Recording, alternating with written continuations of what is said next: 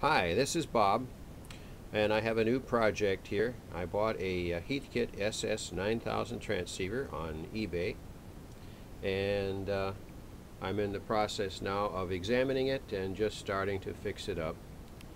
It uh, The SS9000 was a uh, deluxe transceiver designed in 1981 covered all the amateur bands including the WARC bands. It was 100 watts output, microprocessor, type control, uh, circuit boards, uh, all, all solid state.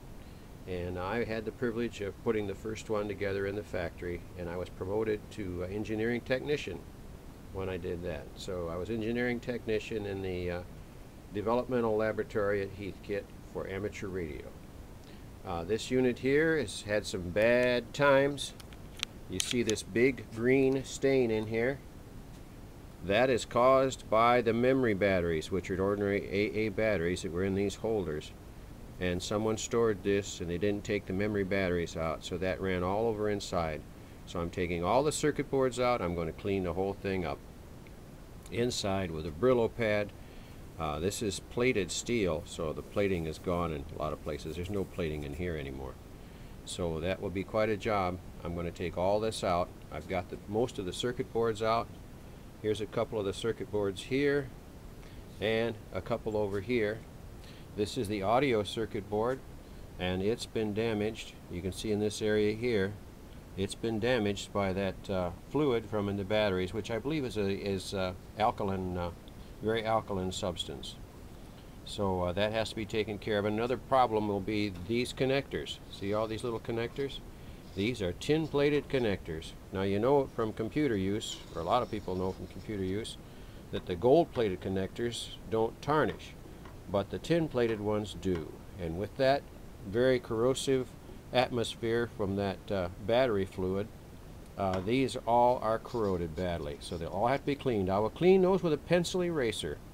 And then when I get done cleaning, I will put a tiny bit of silicone grease on my finger, just a little bit, and wipe it on each one of those on both sides to get that uh, coated so that it will not corrode again. This one here I noticed has a gold plated connector right here and that is in good condition. So that's why they use gold plated connectors in a lot of the computer things and a lot of the equipment. And if you look here you got connectors, connectors, connectors, connectors, connectors.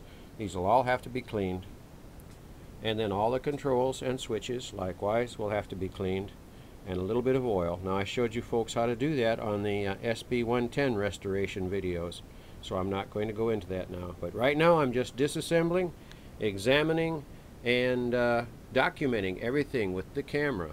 I get in there and I take pictures of these connectors and where they go and how they connect so that I can plug them all back in together I'm also using a real tiny Sharpie pen and I'm putting on each connector when I disconnect it the number of the connector. And these numbers on this Heathkit is nice because they're right there on the board. See there's a number right there for that connector. And then you put the numbers on like that and then you can plug them back in where they belong without too much trouble. And you can refer back to your pictures. I'm taking pictures of everything. Like up here I'll take a picture of this and I can see where all the wires go take a picture of that. Of course, you get all those three items there right in one picture, actually. And uh, so that's what I do at this point of the examination. So that's it, guys. So we're starting on a new project. This thing is in really bad shape, but we hope to get it up and running. So uh, I want to wish all you folks out there, this is the holiday season right now, so I wish you happy holidays and good DX, guys.